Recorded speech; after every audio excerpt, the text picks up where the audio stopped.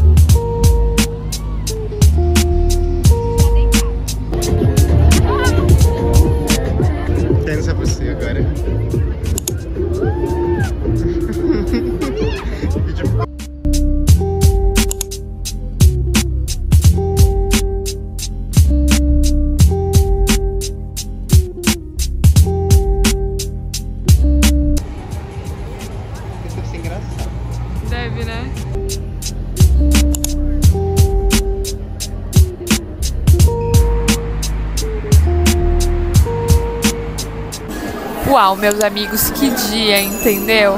Eu tava planejando que esse dia ia ser corrido, mas tá sendo bem tenso esse meu roteiro. E hoje, como o tour é no centro, é, a gente não parou tanto pra sentar, pra, né, falar, etc. Mas vamos lá, o tour foi muito legal, a guia era ótima, achei melhor do que o de ontem, mas vai mais para um lado mais arquitetônico da cidade, que também é muito interessante, se você gosta de arquitetura. E adorei, gostei, gostei muito, valeu a pena. A gente andou bastante e terminou almoçando no Santos Manjares, acho que é isso, né? E foi gostoso também. A gente pediu uma carne mal passada, não veio mal passada, veio basicamente bem passada. Daí estão errando muito ponto aqui, não sei porquê, mas assim, uma delícia mesmo assim. É, daí a gente foi no Teatro Colon, tentou ir lá para entrar, não tinha mais visita. Daí a gente tá na Lapaneira Rosa, mas ela fica meio que dentro do pa Palácio Barolo, acho que é esse o nome. E também queria ter feito a visita, só que no meio do caminho da gente tá lá no obelisco, etc. Aqui a gente viu um teatro e compramos tickets para um teatro, uma coisa engraçada, né? Eu acho que vai ser uma comédia. Comprados. Fomos comprados, a gente viu os letreiros, viu ali um vídeo da galera rindo, a gente achou que seria uma boa ideia. E daí não vai dar pra fazer hoje o tour, mas falam que é legal fazer no pôr do sol, mas tá um tempo horrível também, não ia ter pôr do sol nenhum. E é isso, né, gente?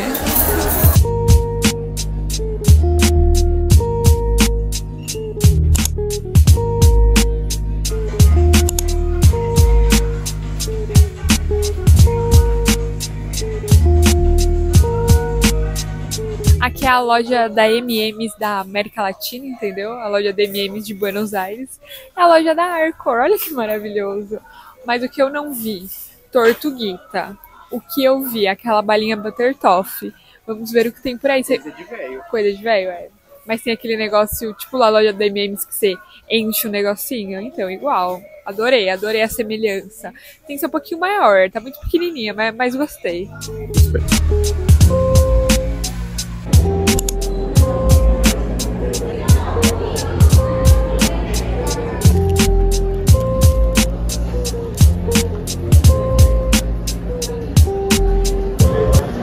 Bem longo. Camarote, vocês não entendem.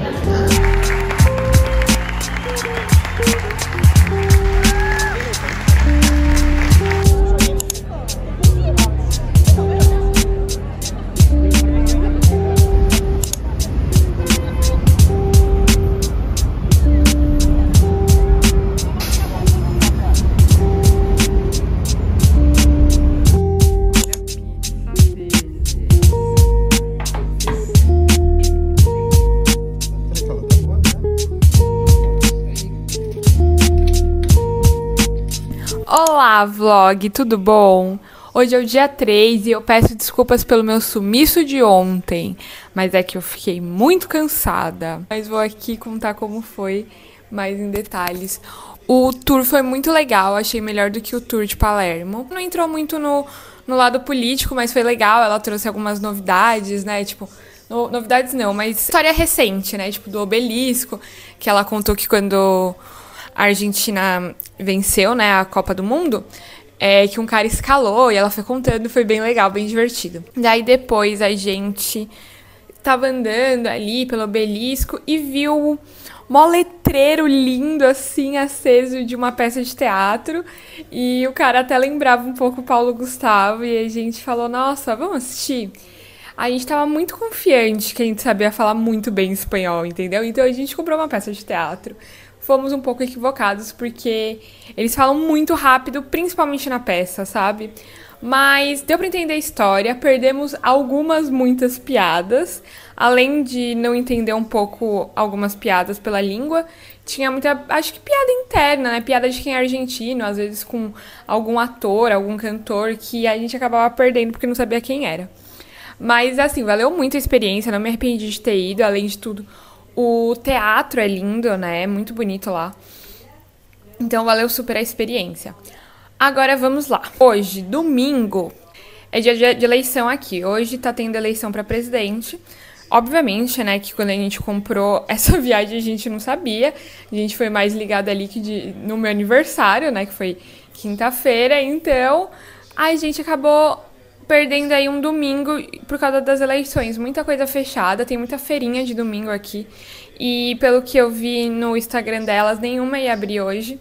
Mas mesmo assim, eu vou dar uma olhadinha, porque talvez a organização oficial não tenha, mas alguém que tem uma barraquinha mais independente, de alguma arte de artesanato, ou brechó, etc. Talvez estou com esperança que tenha.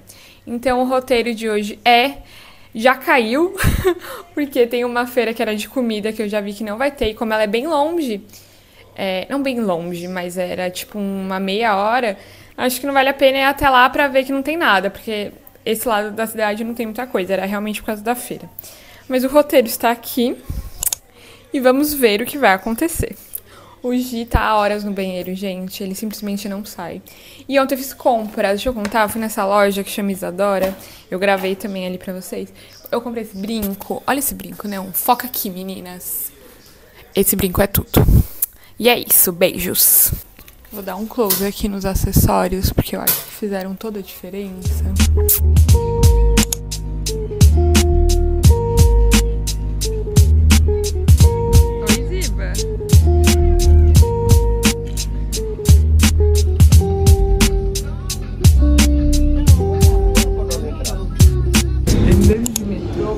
primeira vez e hoje o metrô é catraca livre. Não é não. Ah, não, tá Não é aberto aqui, tá aberto aqui. Ah, não é catraca livre, só tá aberto, porque é de graça hoje até eleições.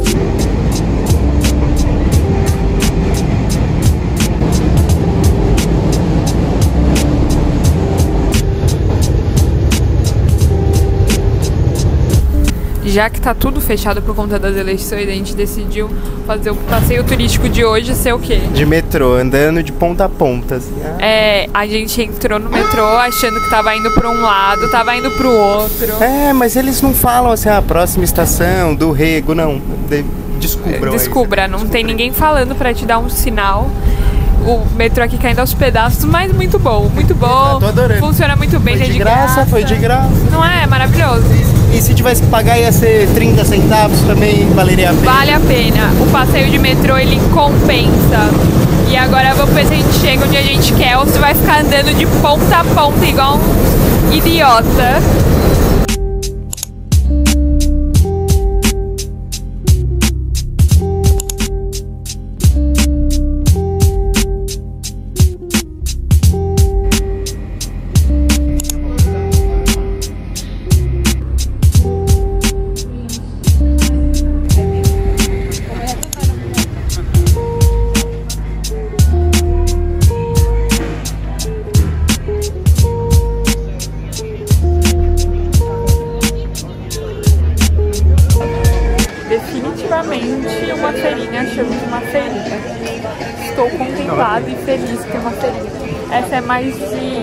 Artesanato, de antiguidade.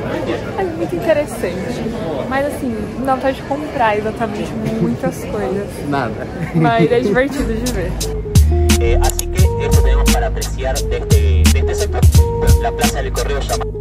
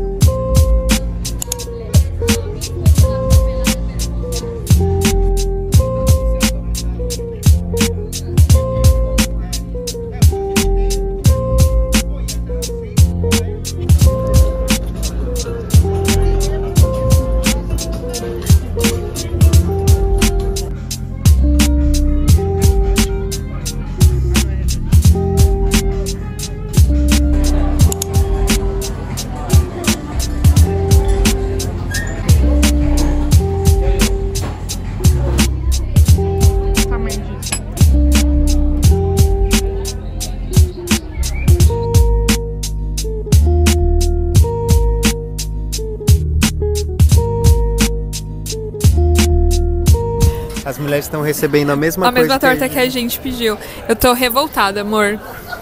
Primeiro a gente pede uma torta, um pedaço de uma torta, que agora dá pra alimentar uma família de quantas pessoas? Seis. Seis, no mínimo. Enorme, gente. Não tem condições de comer um negócio desse. Eu achei uma falta de respeito ser tão grande. Não, e eu ainda pedi um ice de negócio. Veio um. Negócio de com M&M's colorido, parece que a gente pe- pediu uma bebida de criança. Falaram assim, ah, dá, dá lá pro infantiloide. E, tipo, eu nem sei o preço, tá? Eu acho que isso vai ser caro, porque esse café é caro. Tô um pouco chocada com o tamanho desse negócio, mas ok. Vou ter que levar pra casa, distribuir pra 500 pessoas. Ah, dá pra matar a fome do povo argentino. Total. O meu café tá uma delícia, o flat white. Eu nem adocei, porque eu tô comendo doce, né? Tá gostoso.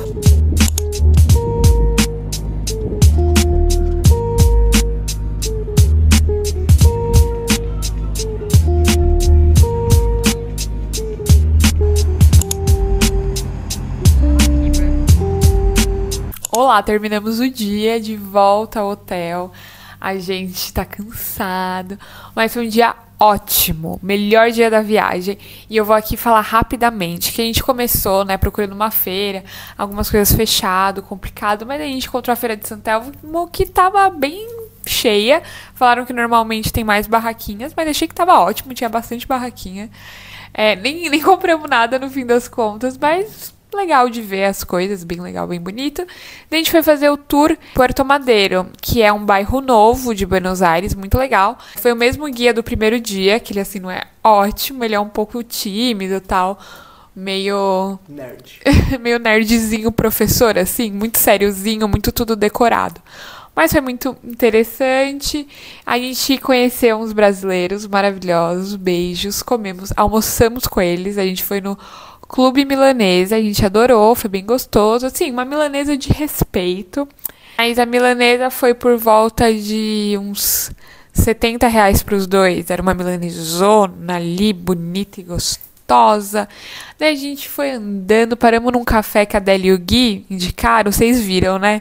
O nosso review. E daí voltando, a gente foi, tava já caindo a noite, bonito Porto Madeira à noite, vale a pena ver a noite, né? Acho que é mais bonita a noite que de dia. E vem cá, de contar. Casa Rosada. Então, vem aqui contar como foi depois. Depois a gente foi pra Casa Rosada, que ela é muito bonita, não é? À noite? É, a gente já tinha passado. A gente não tinha passado de noite lá, né? Não tinha. Só de dia. Aí, beleza. E a gente tá durante essa viagem toda, a gente é fã, a gente é fã de coisas peculiares, né? Exato. Tem um correspondente da Globo aqui em Buenos Aires, que é o Ariel Palacios, que assim, Vocês conhecem da Globo News? um dos homens mais elegantes que eu já vi na minha vida. Ele- Bonito, inteligente, assim, nossa, Culto. tem culto. E aí a gente tá desde o começo da viagem falando assim, putz, queria encontrar o Ariel Palácio. O Gi tava gravando um vídeo assim, que era ele procurando Ariel, Ariel Palácios pela cidade. E a gente fez assim um manifesting, sabe? Essa vi... Desde quando. Antes de, de viajar, a gente tá. Ai, podia encontrar o Ariel Palácio, assim, manifesting. Hoje é eleição, né? E aí a gente até comentou, meu, o dia pra ver o Ariel Palácio, porque É hoje. normalmente ele grava correspondente lá da casa dele, fundo da casa dele. Ele nunca, nunca via esse homem fora de casa. O homem não estava na frente. Gente, na frente da Casa Rosada. E eu falei assim, amor, eu acho que é o Ariel Palácio. E ele tava de costas, né, Nath? Não, não Não, é. não é. Porque eu imaginava o Ariel Palácio super alto.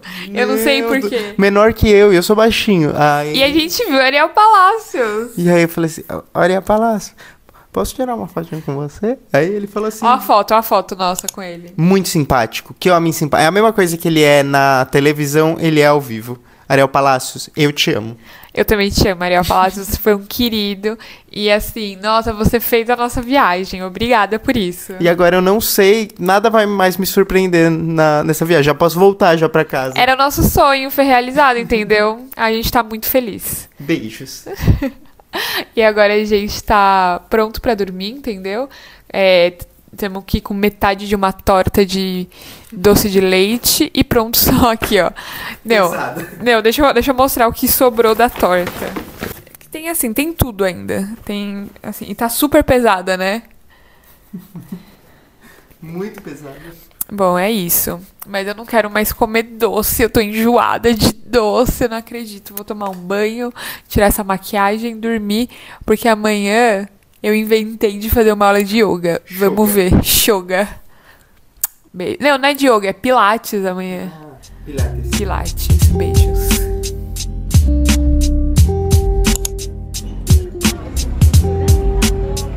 Isso é Argentina. Mas ó, com